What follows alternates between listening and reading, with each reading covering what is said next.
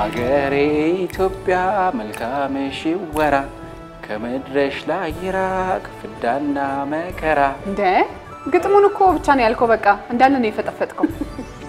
እኔ ዳኞችን በሆን ኖሮ በቃ ከአስር ሺህ ዜሮ ነበር የምሰጥ። ጥለሽ ነበረ? ከአስር ሺህ ቅዳሜ አድዋ ድል በዓል አይደለ? ሀገራዊ ሙዚቃዎችን እየሰማኝ ነው። እንኳን ለ128ኛው የአድዋ ድል በዓል በሰላም አደረሳችሁ አደረሰን። የአድዋ ድል በዓል በሙዚቃዎቻችን ላይ በብዙ ተነስቷል። ቅዳሜ በፋና ላምሮት አድዋ ትደምቃለች። በሞቴ ስትኝ እያልኩሽ በሞቴ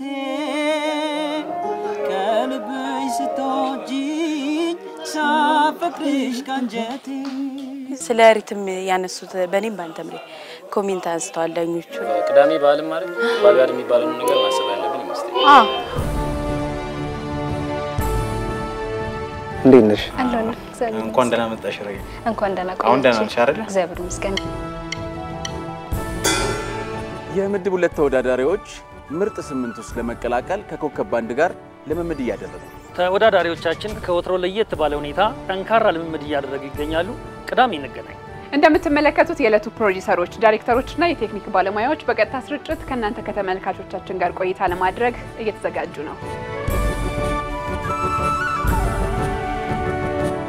በአራተኛው የአሸናፊዎች አሸናፊ ውድድር ቅዳሜ በስምንተኛው ሳምንት በተወዳዳሪዎቻችን መካከል ከባድ ፉክክር ይደረጋል። የአድዋ ቀን ከቀኑ ስድስት ሰዓት ጀምሮ በቀጥታ ስርጭት ይጠብቁ።